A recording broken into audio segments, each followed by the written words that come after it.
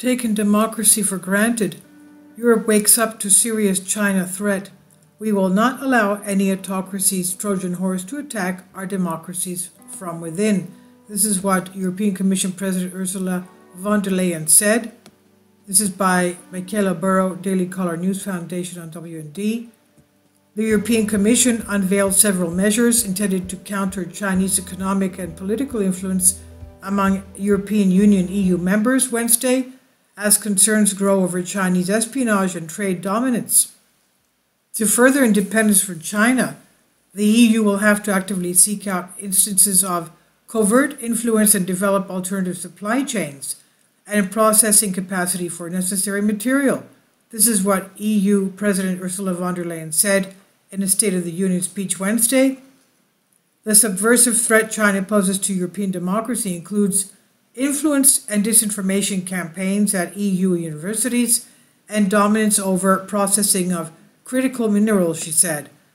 Von der Leyen said many of us have taken democracy for granted for too long, especially those like me who have never experienced what it means to live under the first the fist of an authoritarian regime.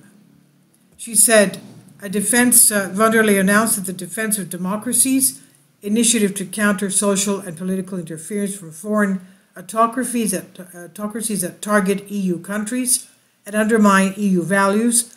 Policies will aim to expose shady funding and other forms of covert influence, she said.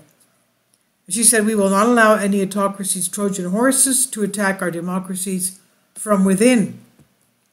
She was referring to an instance earlier this year when a university shut down an allegedly independent research center from after a local media outlet discovered the center was receiving funding from the Chinese Communist Party, according to Politico.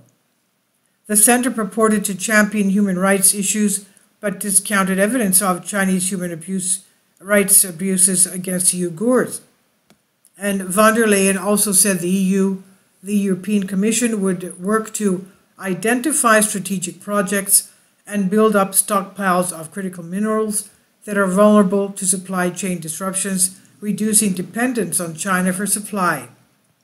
China has significant control over processes of the raw materials used in electronics manufacturing and accounted for 90% of global rare earth element refinement capacity and 60% of lithium in 2019 according to a 2021 International Energy uh, Agency report.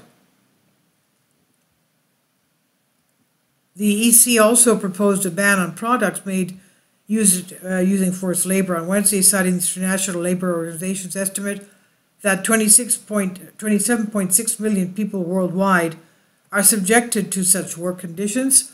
The legislation is largely intended to target China's oppression of Uyghur population, including inhumane labor programs that force Uyghurs to work in factories without consent. Separately, German Economy Minister Robert Habeck revealed the government is developing a slate of trade policies intended to reduce Germany's dependence on China. He said, We cannot allow ourselves to be blackmailed. While he did not provide specific details of the proposed measures, he said they would include stricter guidelines on accepting Chinese investments and diversification of trading partners. But Europe has become increasingly intertwined with China's natural gas trade as it seeks to fill energy shortage facilities in preparation for winter. The EU pledged to end dependency on Russian gas imports, cutting Moscow off from the source of revenue as a punishment for Ukraine. Well, don't they know that China is getting its gas from Russia and China is getting it at a very cheap price and reselling it to other countries? Anyway, this is on WND by Daily Caller. Micaela Burrow, please leave your comments. Thank you for your support. Kindly support my Patreon account. The daily posts are five videos daily, and they are totally different from what I have on my YouTube channel. Thank you so much for your support and that you find all my content so interesting. You'll find the Patreon account details in the description box below.